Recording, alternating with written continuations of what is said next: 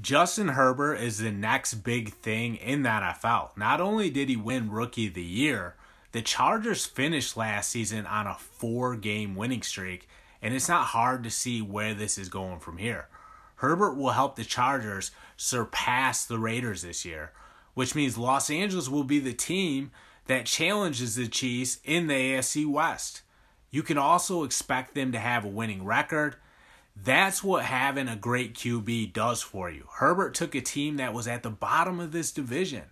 Then he pumped life back into them. The fact that one guy was able to do this tells you how high Herbert's ceiling is. Herbert could be the best QB in the NFL before we know it. That wouldn't surprise anyone because Herbert can make any throw on the field. The zip on his throws is what opened up the Chargers passing game. And when that happened, things started to change for the better in Los Angeles. I'm Jon Kuzma. Check out endzoneblog.com.